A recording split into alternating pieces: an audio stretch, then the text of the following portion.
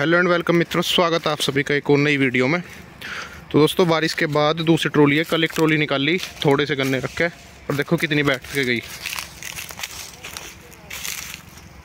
आप देख सकते हैं कितनी बैठ के गई, थोड़े से गन्ने। आज इतने गन्ने तो हम पीछे से खींच के ले आया क्लिप भी लगा दूँ वाली। अब यहाँ से और गन्ने रख रहे हैं।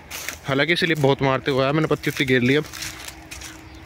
पर और इसमें थोड़े से गन्ने रख रहे हैं, फिर ये बचेंगे। इन्हें जो है खेत से बाहर करके रख लेंगे सड़क पर सड़क से पहले। तो देखते हैं क्या नज़ारा निकल पुल लिखने के बाद चलेगा, ऐसे नहीं चलेगा, क्या कंडीशन बनेगी।